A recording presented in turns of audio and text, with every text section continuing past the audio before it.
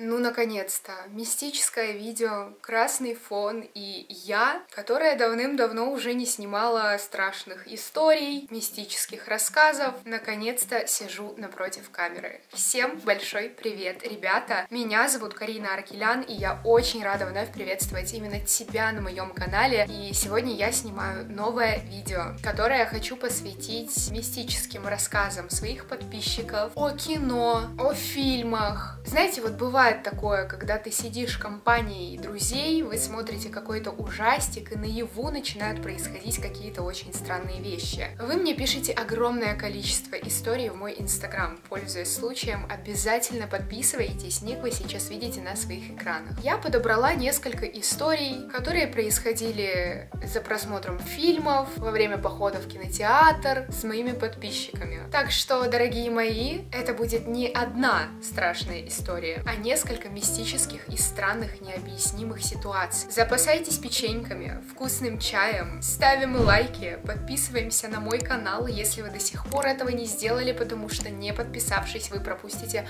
очень много всего интересного и будете натыкаться на мои видео еще не один раз. Кстати, сейчас на мне надето худи из моей новой коллекции одежды. Все спрашивали, Карина, что за худи с таким крутым дизайном? Что за одежду такую крутую ты носишь в последнее время? У меня вышло вышло 5 шмоток, 2 футболки и 3 худи. Фотографии моей коллекции вы видите сейчас на своих экранах, но это мое любимое худи, есть еще точно такая же футболка. Вы можете перейти по сайту ниже в описании и сделать заказ. Рандомным подписчикам лично я сама доставляю вещи домой. Это моя самая любимая коллекция, в которую я вложила всю свою душу, поэтому мне будет очень приятно, если именно эта вещь вскоре окажется на тебе. Не забывай отмечать меня в сторис, потому что я вас лайкаю, подписываюсь на вас и добавляю к себе в историю. Моя коллекция, кстати, выполнена из стопроцентного хлопка и очень уютная, и только с помощью моей коллекции ты можешь согреться этой зимой. Поэтому, если у тебя уже есть что-то из моей коллекции, надевай, присаживайся, и я желаю тебе приятного просмотра. Мы можем начинать мистические ситуации, связанные с фильмами. Поехали!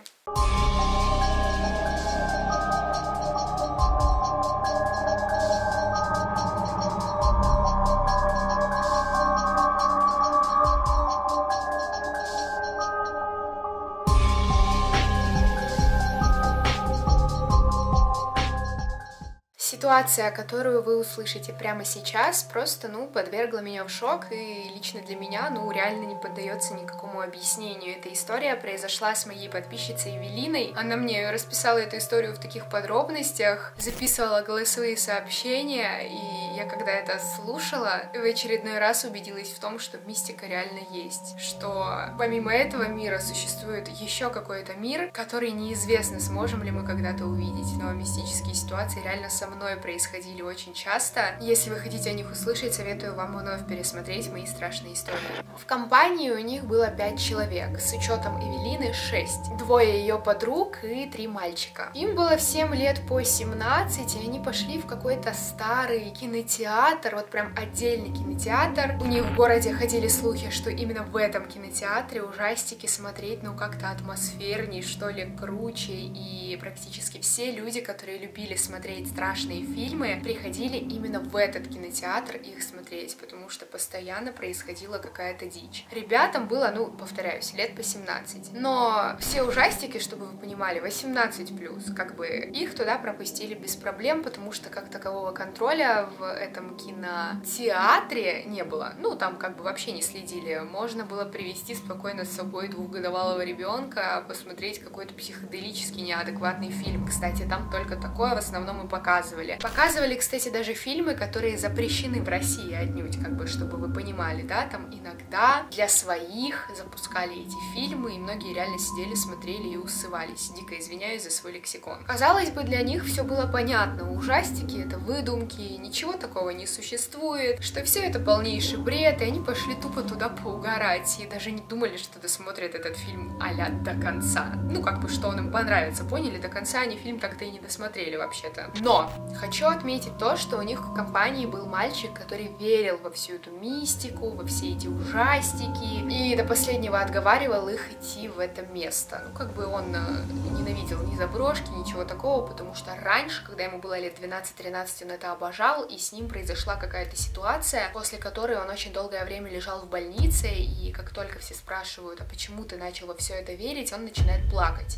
Ну, как бы с ним реально что-то такое произошло, но он человек, который зависит от общества, поэтому он решил пойти с ребятами, не отказался и пошел. Ну, как бы по нему было видно, что он боится и что он не хочет туда идти. И после этого происшествия в больнице, а они все компании дружили с самого детства и дружат по сей день, он именно им начал говорить, что думает, что у него есть какие-то а особые способности. Типа он может видеть там в темноте иногда, постоянно видит каких-то странных сущностей, что у него есть предчувствие какое-то. А так как ребята в это не верили, поняли, они вообще ну, не доверяли и не верили ему. Как бы, что за бред ты несешь, чувак, успокойся, мы просто идем на ужастик. А он понимал, что как бы что-то там точно произойдет. Так вот, слушайте дальше. Где-то на десятой минуте фильма там уже сразу начали происходить какие-то странные штуки, моменты, скримеры. Он начал говорить, что он не хочет тут сидеть, ему этот фильм кажется скучным, он а недостаточно страшный, хотя ребята уже поджали очко и как бы сидели и понимали, что фильм реально устрашающий. Тут, блин, нифига не 18 плюс, там 40 плюс. Ну, типа, для людей реально с адекватной психикой. Реально, ребят, бывают такие фильмы, вот ты смотришь, и ты понимаешь, что ну все, ну твой мир больше не будет прежним. У меня такое было. И после этого я как бы уже, ну, не часто смотрю ужастики, потому что, ну, мне хватает рассказов. Я вот опять как бы сижу вечером одна дома, рассказываю вам эти истории. Я очень надеюсь, что дверь в мою комнату сейчас резко не приоткроется, не будет никакого сквозняка, окна закрытые, хотя такое происходило, и я очень много раз завершала съемку. Когда он, наверное, раз третий говорит, фильм отвратительный, мы не будем его смотреть, ребят, пойдемте отсюда, резко в зале выключается свет. Экран тупо погас, и ребята не могли понять, что происходит. Именно после его слов, да, выключился свет, погас экран, и фильм просто отказывались показывать. Как ни странно, в зале сидело еще двое людей, которые показались компании этих ребят как бы очень странными. Они сидели в самом углу на первом ряду, как бы первый ряд очень мало кто берет, потому что вот так сидеть смотреть на экран в кинотеатре не очень-то и удобно, согласитесь. Как только погас свет, ребята начали включать фонарик и поняли, что этих ребят нет, как которые сидели изначально в кинозале, и что они остались одни. А ребята обосрались, потому что, ну, как бы все погасло, фильм выключился, и в этот момент мальчик, вот этот, который думал, что у него есть способности, просто сказал, а я говорил, вы меня не слушали. И тут ребята как бы очень насторожились и по сей день это обсуждают. Это была очень странная и необъяснимая ситуация, что именно после его слов такое произошло. Они с этим мальчиком общаются, но он как-то отстранился от них и толком с ними больше не разговаривает даже на темы какой-то мистики. То есть он реально верит в то, что у него есть какие-то способности. Ребята после этого момента тоже начали верить, потому что ну, не может быть такого совпадения.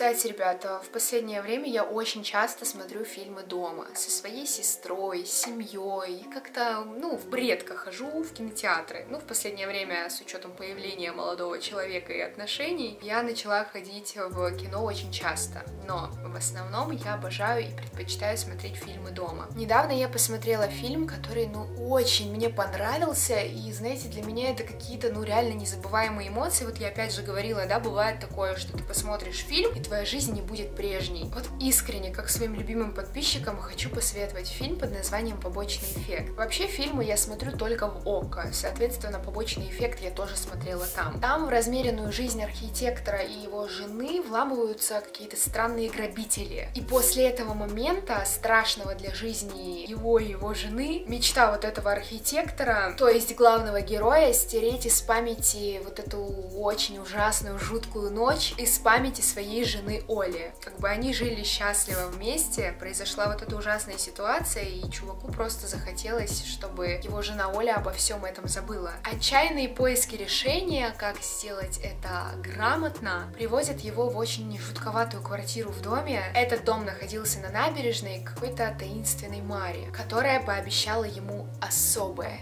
лекарство. Просто офигенный фильм, клянусь вам, ребят. Я перед этим была в восторге еще от отзывов, которые пишут люди, которые уже посмотрели этот фильм на ОККО, и была под огромным впечатлением после просмотра этого фильма. Во-первых, он смотрится на одном дыхании. Я просто сижу, смотрю и думаю, блин, а что будет дальше? И мне так было интересно, ребят, вот мне охота теперь пересматривать этот фильм каждый день. Так что больше не задавайте мне вопросы, какой мой фильм на данный момент сейчас самый любимый. Фильм доступен эксклюзивно в подписках Optium и Premium, и я советую вам его посмотреть 100% по ссылке ниже и круто провести время. Можете позвать всех своих друзей и не мучиться больше. Какой же фильм посмотреть, потому что именно этот вам 100% понравится. Только смотрите, чтобы реально не начали происходить, как в первой истории, какие-то странные вещи. Но фильм вам понравится, я гарантирую. Спойлерить рассказывать не буду, что там в конце, но вы будете просто в восторге, поэтому советую вам посмотреть этот фильм и рассказать о нем в инстаграме, отметив меня. Ник вы сейчас видите на своих экранах. Отмечайте меня, я вас буду добавлять к себе и будем обсуждать с вами этот фильм вместе. Пишите мне в директ, поболтаем. Этот фильм я уж точно полюбила на всю жизнь, поэтому ловите промокод. Вы его видите прямо сейчас на своих экранах. Переходите по ссылке и смотрите фильм. Не благодарите. А я приступаю ко второй истории.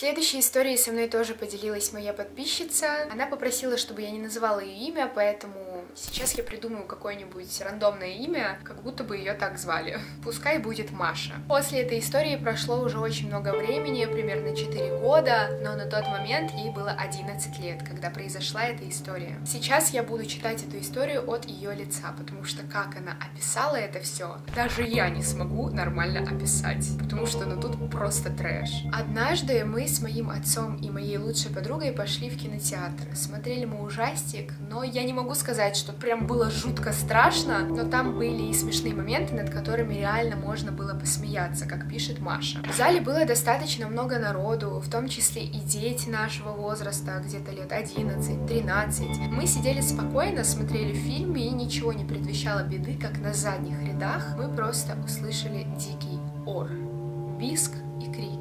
Там начинает кричать какой-то ребенок. Даже не кричать, а просто орать во все горло на весь кинотеатр. Из-за этого крика все поворачиваются, ну и в зале, естественно, включается свет через некоторое время, потому что какие-то люди пошли и сообщили каким-то людям, которые транслируют а этот фильм на экран, что там что-то произошло, помогите, ребенок кричит, фильм невозможно смотреть, выключайте, включайте свет, потому что ну, в зале как бы свет погасает после начала фильма. Ну вот, все поворачиваются и начинают резко резко спрашивать, что случилось. И этот ребенок, которому на вид было лет 12, сказал, что он видел возле запасного выхода какой-то белый огромный силуэт, похожий на очень высокого человека, который как будто бы начал бежать на него с каким-то предметом в руках. После этого его сразу же вывели из зала и продолжили показ фильма. Но, возможно, этот был ребенок просто какой-то впечатлительный, так сказать. Ему нельзя было смотреть этот фильм. Ну, там как бы не особо ужастик, сказали же, туда детей пускали. Но как бы, что ребенок начал так истерить, орать, кричать и утверждать, убеждать всех, что видел какой-то силуэт, как бы до сих пор остается загадкой для Маши и для вообще всего зала, потому что, ну, крики и визги были настолько громкие, что можно было просто оглохнуть и сойти с ума. Было очевидно, что ребенок в шоке, что он не понимает, что ему делать дальше. Когда его выводили из зала, он просто плакал, он кричал, он говорил, вы мне никогда не поверите, но я вам правда говорю, что там кто-то был. И знаете, ребят, почему-то я ему верю. Я верю в это. И я уверена, что мальчик действительно что-то видел. У меня была такая ситуация, и я скоро сниму о ней отдельное видео.